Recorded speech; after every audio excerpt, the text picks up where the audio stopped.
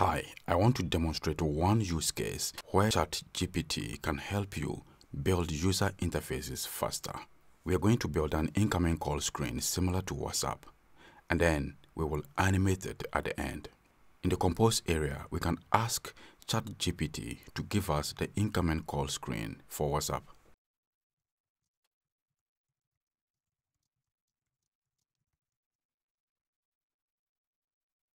So that gives us the code to be used for the incoming call screen. I'll click on this button to copy the code. Then go to Xcode. I will control click this folder and add a new file. Let's select SwiftUI View and Next. We are going to use the same name, incoming call screen. Then create. So we have the same name here as the one we got from the code over here. So what we can do is to replace this one with the one we have in the clipboard. So I will paste that. Now we have an error because there are two parameters here, caller name and caller profile picture. So we have to pass them here. So let's click here and fix. The caller name is a string. So I can put my name, Amos. And then this is an image. Let's use an SF symbol. I'm going to open the SF symbol app and then look for one image.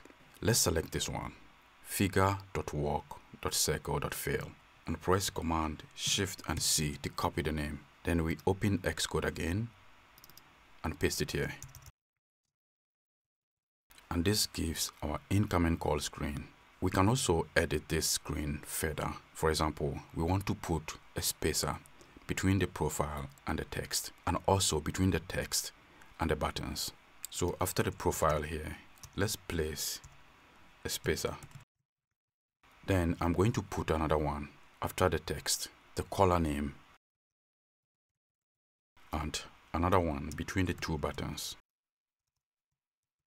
Next, we can put a padding around all the content. So let's minimize the code and select the parent container for all and place a padding here.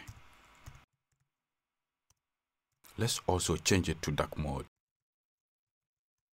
If you like, we can also swap the position of the buttons by placing the accept on the right and then decline on the left. So I'm going to remove the decline button and place it over here. Then I will change the position of the spacer. So this is how to build a very simple incoming call screen in SwiftUI using ChatGPT. We can enhance this interface with sound, but since we don't have sound, we can use animation instead. That is what we are going to do next. So we want to create a pulsating animation for the user's profile. So what we can do is to ask ChatGPT to give us the pulsating animation that happens automatically.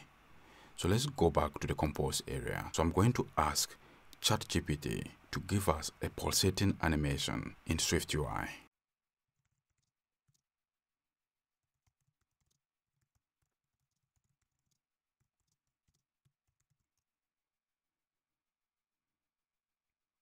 So let's look at what it did. It creates a state variable and then set the initial state of the animation to 1.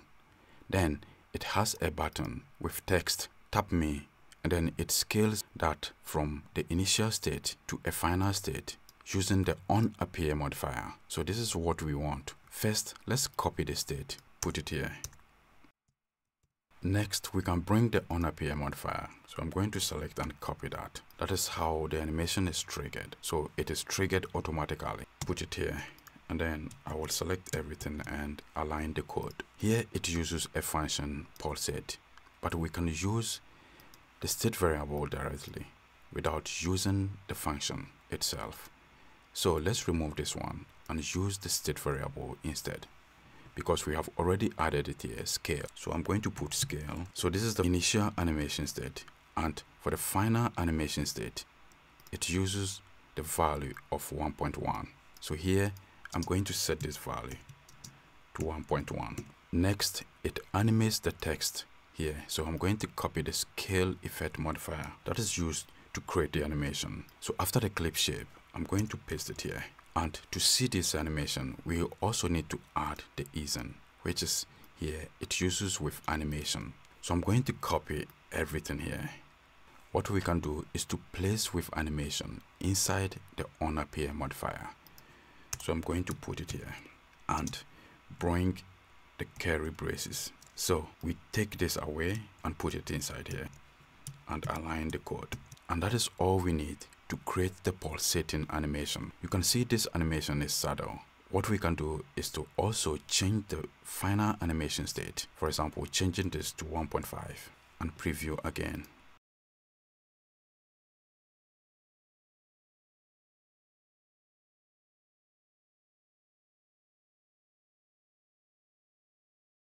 So this is how ChatGPT can help you build your interfaces and animations in SwiftUI. Thanks for watching.